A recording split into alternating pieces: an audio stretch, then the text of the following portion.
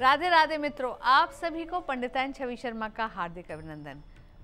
जब भी कभी आपको लगे कि आपके शरीर की इम्यूनिटी कम हो चली है और आप जल्दी जल्दी बीमार पड़ने लगे हैं, यानी छोटे छोटे इन्फेक्शंस आपको आसानी से लग जाते हैं तो ध्यान दें, शायद आपने अपने घर के नॉर्थ जोन से कोई खिलवाड़ किया है।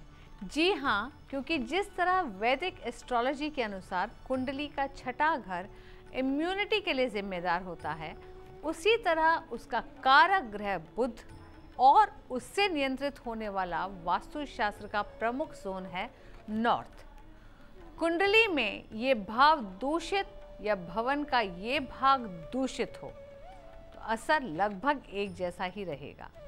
अगर आपके घर का उत्तरी भाग यानी नॉर्थ जोन वास्तु दोष से ग्रस्त है और आपकी इम्यूनिटी कमज़ोर हो गई है तो किसी वास्तुशास्त्री की मदद लें।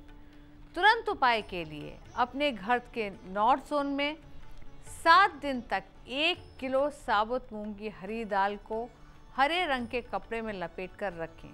सात दिन पूरे हो जाने पर आठवें दिन उसे उठाकर किसी नीचे दर्जे के कर्मचारी को दान कर दें।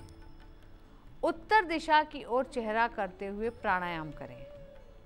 तांबे या चांदी के बर्तन में पीने का पानी भरकर अपने घर के नॉर्थ ईस्ट में रखें और उसी का सेवन करें। उसके खाली होने पर उसे रीफिल करते रहें। नॉर्थ से लेकर नॉर्थ ईस्ट जोन तक की सभी खिड़कियाँ खुली रखें।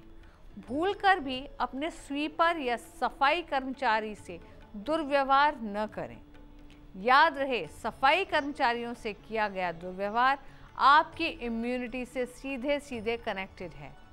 हर संक्रांति पर पुराने कपड़े सफ़ाई कर्मचारियों को देना भी इसका एक अच्छा उपाय है। शास्त्रों के अनुसार आपके ननिहाल से आपके संबंध जितने मधुर होंगे, उतनी ही अच्छी आपकी इम्यूनिटी होगी।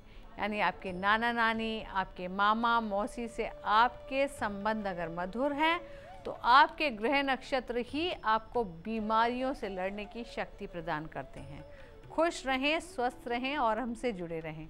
कुछ और नई टिप्स लेकर आपकी पंडिता छवि शर्मा कल फिर उपस्थित होगी। तब तक आज के आनंद की जाए